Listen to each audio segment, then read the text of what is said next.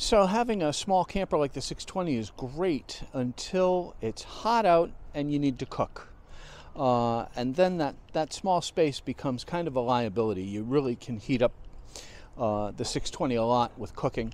Um, so I've been carrying this, uh, this gigantic uh, Coleman. It's a combination grill uh, and a single burner stove and uh, I've used the grill like twice, and it takes so long to clean it that I just I never want to use it again.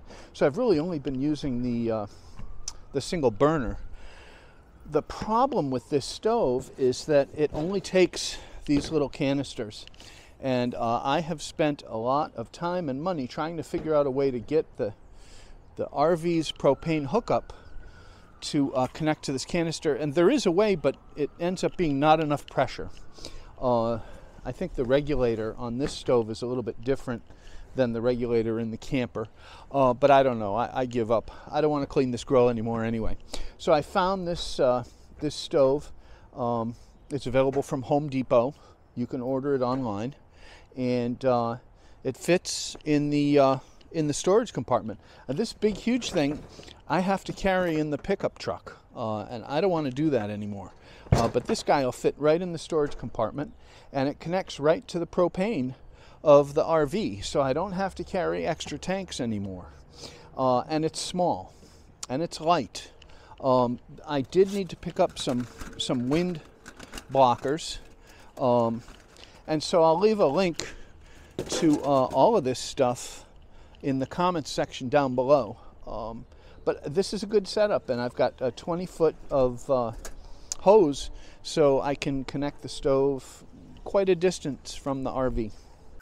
So uh, this is the Sportsman stove on Home Depot. You'll notice that the uh, reviews are not so great. Um, it's a pretty good stove, though. It's definitely cheap. Um, uh, anyway, um, this is the most important part, the connection. Uh, and it turns out that that is a 3 eighths female flare. So you need to buy this uh, connection, this quick uh, connect from uh, Home Depot and put it on the back of the stove.